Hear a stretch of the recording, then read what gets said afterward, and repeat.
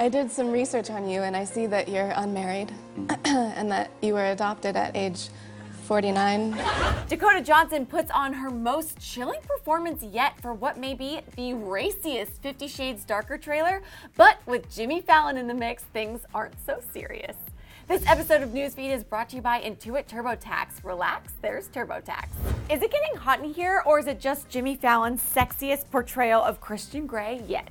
We thought we saw it all when the first few sneak peeks were released from the Fifty Shades sequel, Fifty Shades Darker, but no. What we didn't see coming was the more recent and perhaps the raciest trailer from the film to date. And let's just say Anastasia's undergarments weren't the only thing going down.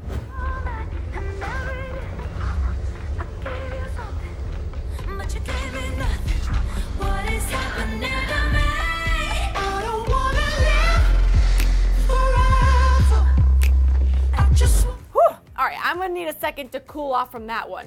The date begins when Christian and Ana were out to dinner when he tells her to take her underwear off while they're sitting down. The two quickly leave, walk into a packed elevator, and need I say more? But one scene that Dakota just couldn't seem to compose herself nearly as well was her and Christian's first ever meeting as she met with him to conduct an interview for the local paper. But think more along the lines of Jimmy Fallon and less Jamie Dornan. When I'm around you, I feel like a Zamboni driver at a funeral. you know? I hope you got everything you needed. I did, I did. And whenever I have a great interview, I do my favorite dance called the hairless sausage. Before Dakota and Jimmy hilariously acted out the scene, she appeared on his show last night where they filled out a Mad Lib story and managed to set all sexual tension aside for a comical reenactment of the scene from the film. Some people say I don't have a knee at all.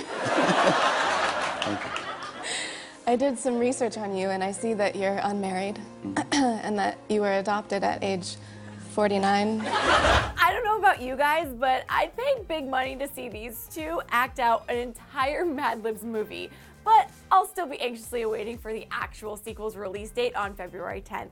Right now, I want to know all your thoughts on the newest, not so safe for work Fifty Shades Darker trailer and all your thoughts on Jimmy and Dakota's hilarious reenactment. So hit us up in the comment section below, and as always, don't forget to subscribe. Thanks so much for watching Clevver News. I'm your host, Megan LaMontagne, and I'll see you later. Before you go, click to the left to see Jamie Dornan take on a Fifty Shades scene with Ellen, and click to the right to see why Ed Sheeran's fans are calling his bluff. This episode was brought to you by Intuit TurboTax with live on demand help when you need it. Relax, there's TurboTax.